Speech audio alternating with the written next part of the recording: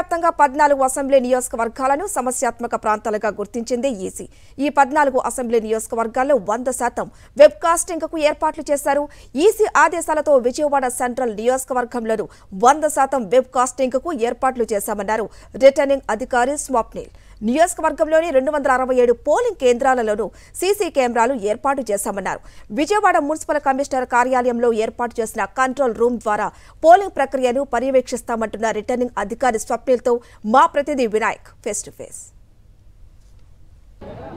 రాష్ట్ర వ్యాప్తంగా పద్నాలుగు అసెంబ్లీ నియోజకవర్గాల్లో పూర్తి స్థాయి పోలింగ్ నూరు శాతం వెబ్ కాస్టింగ్కు ఎన్నికల కమిషన్ ఏర్పాటు చేయడం జరిగింది. ఆ పద్నాలుగు నియోజకవర్గాల్లో విజయవాడ సెంట్రల్ నియోజకవర్గం కూడా ఉంది. ఈ నేపథ్యంలో విజయవాడ సెంట్రల్ నియోజకవర్గంలో ఎటువంటి ఏర్పాట్లు చేశారు? పోలింగ్ సంబంధించి ఏ విధంగా సామాగ్రిని పంపిణీ చేస్తున్నారు? అదేవిధంగా అక్కడ వెబ్ కాస్టింగ్ ఏ విధంగా ఏర్పాటు చేశారు? ఎటువంటి జాగ్రత్తలు తీసుకున్నారు? తెలుసుకునే ప్రజలు మనతో పాటు మున్సిపల్ కమిషనర్ అదేవిధంగా విజయవాడ సెంట్రల్కి సంబంధించిన రిటర్నింగ్ అధికారి స్వప్నిల్ పుండకర్ ఉన్నారు. ఆయనతో మాట్లాడదాం.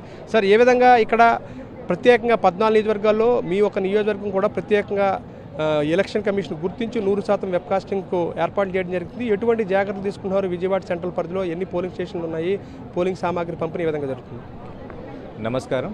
మన ఎనభై విజయవాడ అసెంబ్లీ నియోజకవర్గంలో total two hundred and sixty seven దీంట్లో ఒక పది auxiliary two hundred and fifty seven plus ten two hundred and sixty seven polling booths ఉన్నాయి. దీనికి మీరు ఇప్పుడు చెప్పినట్టు హండ్రెడ్ పర్సెంట్ వెబ్ కాస్టింగ్ మనం చేస్తున్నాము. వెబ్ కాస్టింగ్ కూడా ఒక ఇన్సైడ్ ఒక కెమెరా సీసీటీవీ కెమెరా బయట outside the polling station ఒక కెమెరా పెట్టడం జరిగింది. So total two sixty seven into two అంటే five hundred and thirty four webcam మనం పెట్టాము. అది ఒక ఆల్రెడీ లింక్ కూడా మన విజయవాడ మున్సిపల్ కార్పొరేషన్లో ఒక control room integrated control room assembly constituency వరకు సెంట్రల్ అసెంబ్లీ కాన్స్టిట్యుయెన్సీ వరకు మనం పెట్టాము. అక్కడ డైరెక్ట్ ఫీడ్ అక్కడ వస్తుంది అక్కడ కూడా పోలింగ్ స్టేషన్లో ఏం జరుగుతుంది అది మనం డైరెక్ట్గా చూడొచ్చు. ఇప్పటికైనా అక్కడ ఏఎంఏ ఫెసిలిటీ సరిగా ఉందా లేదా ఆ ఫర్నిచర్ సరిగా పెట్టారా లేదా అక్కడ సరైన అక్కడ బ్యారికేడింగ్ చేశారా లేదా అది మనం వెబ్ కాస్టింగ్ ద్వారానే మనం మానిటర్ చేసుకొని అది కూడా పూర్తిగా అయిపోయింది అది కూడా మనం చెప్పొచ్చు. ఈ రోజు డిస్ట్రిబ్యూషన్ అయిన తర్వాత మనకి ఆర్డర్స్ కూడా ఉన్నాయి. సాయంత్రం అంటే సాయంత్రం కాదు ఆఫ్టర్నూనే అన్ని పోలింగ్ పార్టీస్ వాళ్ళ దగ్గర వాళ్ళకి అలాట్ అయిన పోలింగ్ స్టేషన్కి వాళ్ళు రీచ్ అవ్వాలి వాళ్ళు రీచ్ అవుతారు. అక్కడ వెళ్ళిన తర్వాత ఇంకా అక్కడ కూడా ఏదైనా ప్రాబ్లం ఉంటే ఇమీడియట్లీ నాకు సెక్టర్ ఆఫీసర్స్ ద్వారా చెప్తారు. రేపు మార్నింగ్ ఫైవ్ థర్టీకి మాక్ పోల్ స్టార్ట్ అవుతుంది.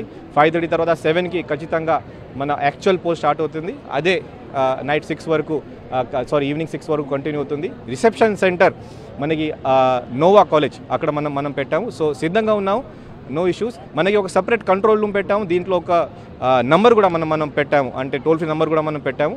దీంట్లో కూడా ఏదైనా ప్రాబ్లం ఉంటే మీరు డైరెక్ట్గా కాల్ చేయొచ్చు. థ్యాంక్ యూ మనం మనం చూసుకోవచ్చంటే రెండు వందల అరవై ఏడు పోలింగ్ కేంద్రాలు ఉన్నాయి విజయవాడ సెంట్రల్ పరిధిలో. ఇందులో దాదాపుగా మనం చూస్తే కనుక ఐదు వందల యాభైకి పైగా వెబ్ క్యామ్లు ఏర్పాటు చేయడం జరిగింది. పూర్తి స్థాయిలో నూరు శాతం వెబ్కాస్టింగ్ ద్వారా పోలింగ్ ప్రక్రియను మేము పర్యవేక్షిస్తామనేది ఇక్కడ రిటర్నింగ్ అధికారి స్వప్నిల్ పుండర్కర్ చెప్తున్నారు. వీడియో జర్నలిస్ట్ వెంకట దగ్గర నాయకరావు సాక్షి టీవీ విజయవాడ నుంచి.